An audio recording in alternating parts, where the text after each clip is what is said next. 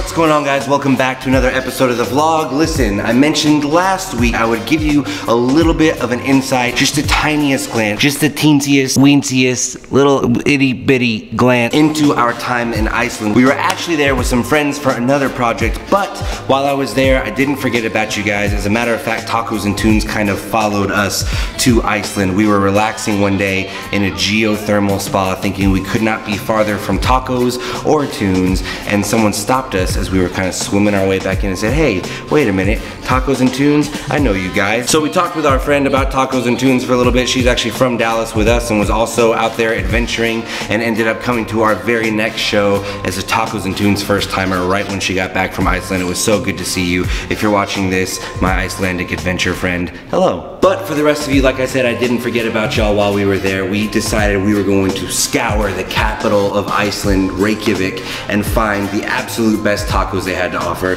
And this is what happened. Bro, where are you taking us?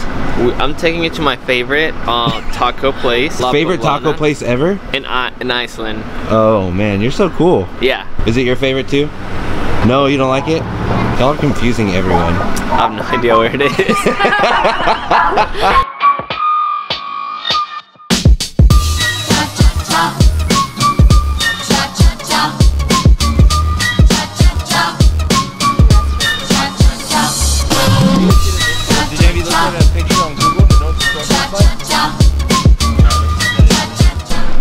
looking for a taco place in Reykjavik. I think they closed. They went out of business because Two, in the last two weeks they've gone out of business. There's reviews. there are reviews that are two weeks old. Look, we did see that restaurant. What's that one called? Isla Fagafalis. It's not. It's not here anymore.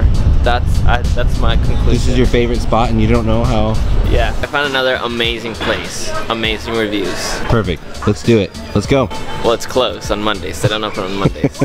uh, so Okay.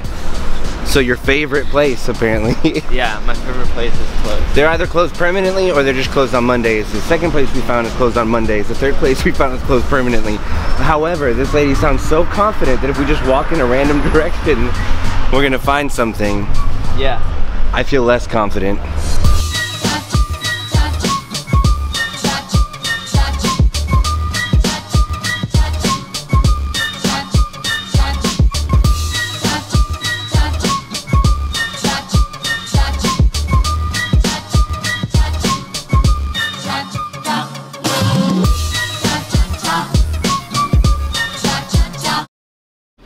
I don't know what we expected. Listen, Iceland was amazing, and while they couldn't offer us this while we were there, we saw so many incredible things. If you want a full look at what that trip was like, there's a link in the description to our other channel where we did a whole travel vlog. We've got two more videos actually that are getting ready to come out about that. Oh my gosh, I'm still salivating. Those tacos are so good. We saw things there that you literally cannot see anywhere else in the world. So, Reykjavik, we're not mad at you for not offering us the one thing that we wanted at the end of the week, which was a delicious taco, because you had so much else to offer. And if you're a budding entrepreneur and you're looking to open a taco joint, I might know of a city where there's not much competition.